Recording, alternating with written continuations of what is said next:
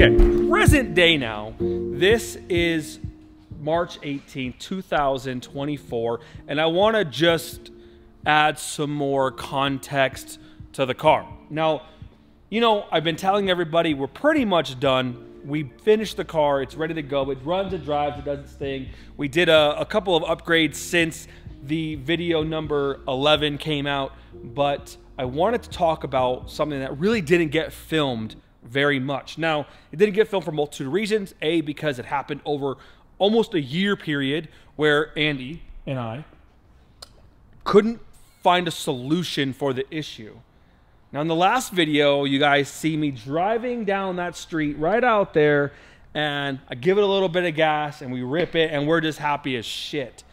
We get the car back on the lift, and then Andy checks for what? Oil leaks. Oil leaks. That's the first thing you do when you put a new engine in a car, or in this case, when you rebuild the entire car. So, to our surprise, there was a f- small bit of oil leaks, but one oil leak in particular, relatively not a surprise because we talked about this when we were building it, but we didn't have a chance to fix it and we weren't able to fix it. Crossing your fingers we, and hoping for luck. Yeah, we hope for the best. Basically, to put some context here, this right here, let me show you. This right here is where the engine mates with the gearbox, this little plate.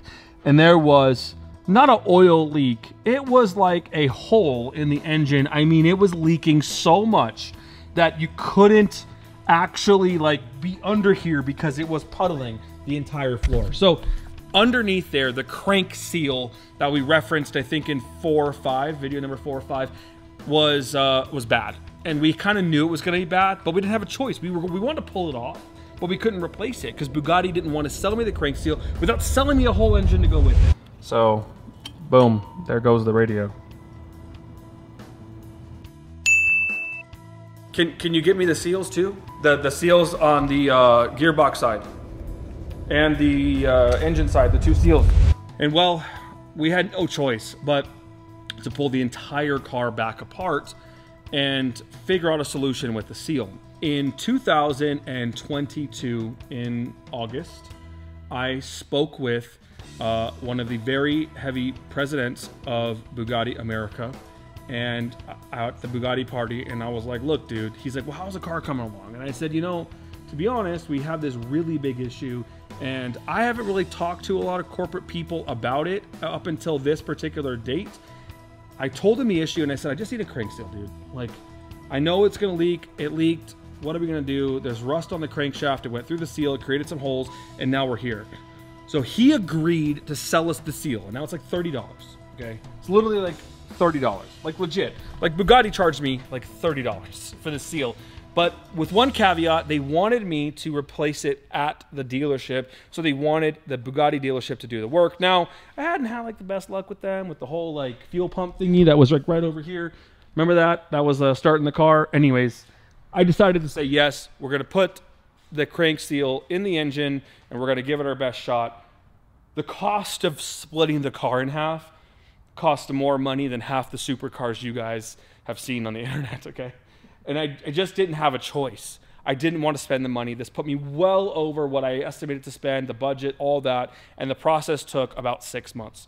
So that's why we're in 2024 now, and the car basically is is done now. Okay. Basically, we know we have a little bit of an issue with our crank, and we ordered this. So I did a lot of research and I found that they make it's called a crank sleeve. And this particular technology is like the thinnest piece of metal you've ever seen. It's almost like invisible.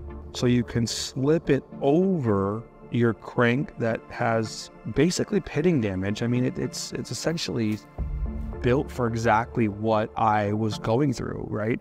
So this is a larger one. This is 3.8. Now I got this one as a backup in case the crank was measured wrong. So we're taking this one with us. Nice. Now 1127 is 3.75, which is the same exact dimension as the one we tried last time. Mm-hmm. But when I got that one in the mail, I was like, wait, I can machine this one down. So I went to the Gilbert's machine shop here in Vegas and he did this in four hours.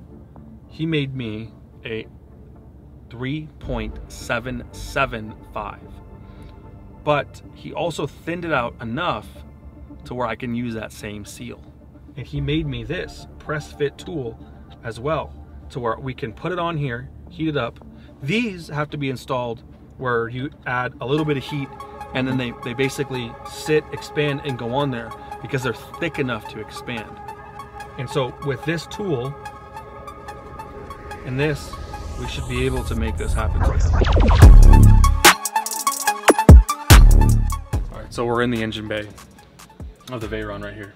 And um, this crank is, see, it's got a little bit of um, uh, pitting on it. That creates a no seal effect um, when it comes down to the gasket going over here. This is the rear main seal. So this is the bell housing. Here's the gearbox right here. And um, obviously the rest of the engine, you know, is down in this area. So we need to knock this seal on here. What this is gonna give us is a new seal for the gasket to go onto. And um, it's just a, I mean, it's like 0.002 smaller than that. But I think what's happened is because it's so cold outside that we have uh, to heat it up a little bit before we can knock it on because it's got to expand us a little bit. So, okay, so let's heat this up. But I think you should, I mean, All right. I, I brought my gloves so I can do it too. You sure? Well, if it gets hot, I'll let you know. All right.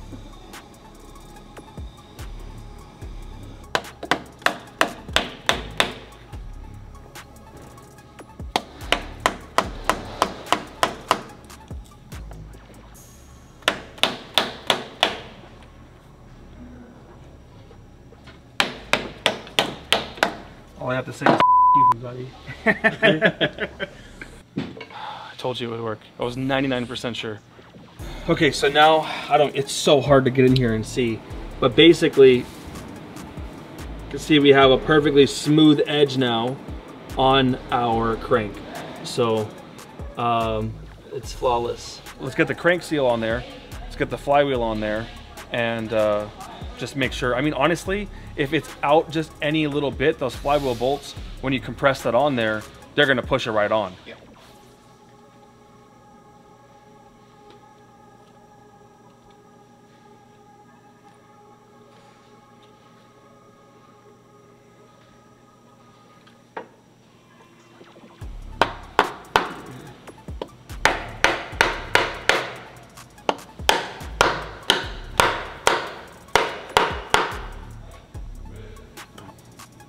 Right now, it's not gonna leak. Nope. It's tight. and it's got a nice uh, even surface on that crank now. Yeah, I'm just worried that the seal might rip. But I don't really understand how the seals work because if they, if the thing is spinning in there, then it has to have some flex. Mhm. That Yeah. doesn't have any flex. Yeah. Well, the you know the flex part is like that inside part that uh, Yeah. that had to go around this, so that's gonna flex like Mm-hmm. like this, but it's gonna keep a constant pressure on the crank itself. Yeah. Um, and then this outer lip is what keeps the oil from coming out. There's no way to turn this car on, right? No. I'd have to put the car completely back together. Yeah, but like how can you like? Because the starter goes in here. Well, what I was saying is, can you basically set the gearbox on, right, and get this to where it's not all bolted together, and then turn it on and just run it? No, Not really. no, not really.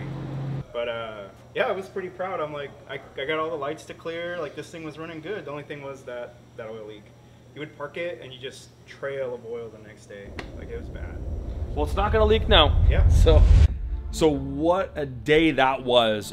We went probably three different times to O'Gara. I only put in the footage of the success uh, that we had, but it took a few months to get this problem solved. Now, I went from custom shop to marine here, marine there. I went to so many different places to try to get a crank sleeve that would work and we finally had one made which worked out really really well and in this video you guys just saw that they we, we put the seal on and there's not much filming after that because we were pretty involved in the restaurant business at the time and it was difficult for me to just jump on a plane, fly to LA, and film it. So from here, it took a few months for Stan to put the car back together, test it, make sure everything worked, and it did. There's no leaks. So from here, I decided to send the car straight to E3 Upholstery in Florida, where they're gonna do our brand new interior. So that brown interior that I bought off of eBay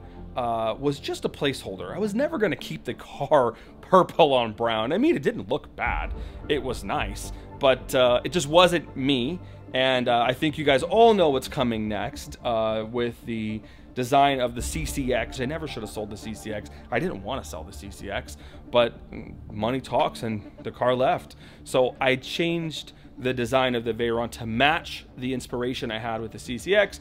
And this is the next step. So I did some custom touches and it took almost a year from the point to when we put the seal on to when the car was done back to me with the, I almost said it. I almost said the color.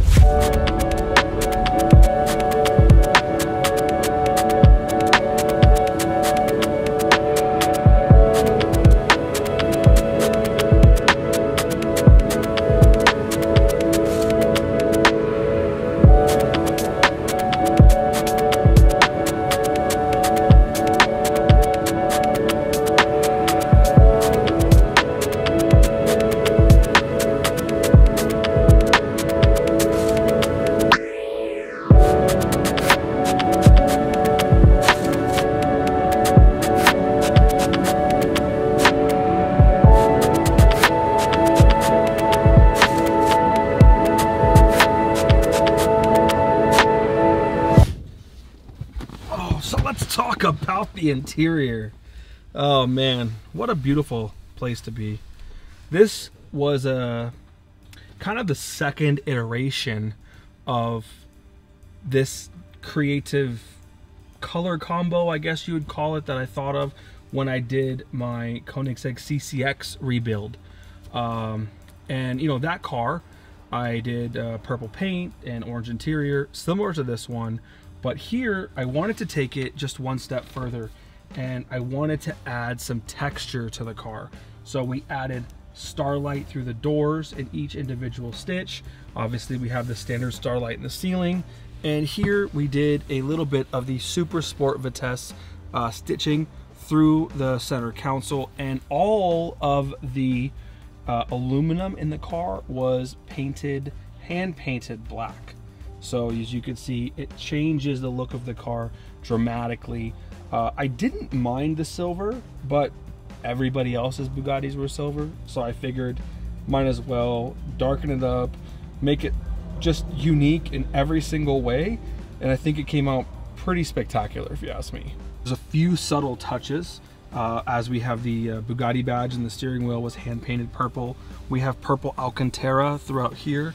And back here, we also have purple Alcantara in here. So it's just a, it's got a little bit of a uh, custom feel to it. Behind the windshield, we've got purple Alcantara. Uh, and in here, also purple Alcantara. And the most important thing, all this interior would not be possible uh, to sit in and enjoy without that subwoofer right there on the floor. So I believe I have the world's only subwoofer in a Bugatti Veyron. Another world first. so, what's next? We need more power. The second everything works for me, and I knew it wasn't going to explode, we are going to take it straight to the dyno and tune it to the maximum capabilities possible.